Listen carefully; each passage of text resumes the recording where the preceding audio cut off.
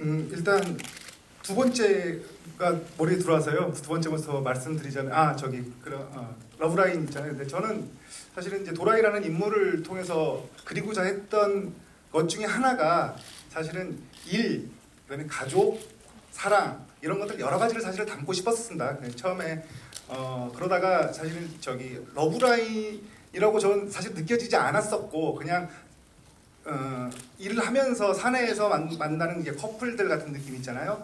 그런 부분들을 그래도 그냥 아무것도 없이 지나가는 것보다는 그쪽에서도 물론 사진부 영화에서 나오는 사진부라는 유덕환이라는 인물도 자체는 그, 직- 그 자기 직장에 대해서 이제 고뇌를 하고 회한을 느끼고 또 그만둘지 말지에 대한 어떤 그런 갈등들을 겪고 또 그런 것을 도라이라는 주인공이 또 바라보 바라보고 그걸 또 어떻게 느껴야 될지 뭐 이런 부분들에 대한 어, 부분을 건드려주고 싶었던 거지 사실 러브라인 쪽으로는 직접 이렇게 건들진 않았다고 제가 생각을 하거든요.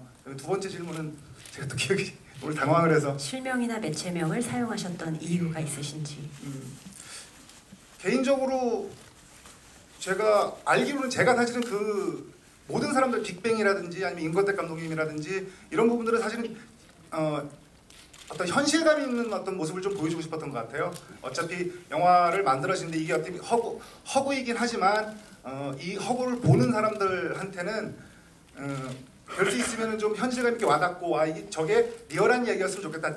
내가 직장 생활하면서도 어떤 뭐 우리가 예를 들면 삼성이라든지 현대라든지 이런 것들을 쓸 수 있듯이 편하게 쓸 수 있듯이 그 사람들 이 영화에 등장하는 그 사람들도 음, 이 영화 속에서 아주 자연스럽게 드러나 주면은 저는 어, 보는 관객들이 어, 현실감 있게 보지 않겠나 이런 생각이 들어서 어, 실명을 썼던 것 같습니다.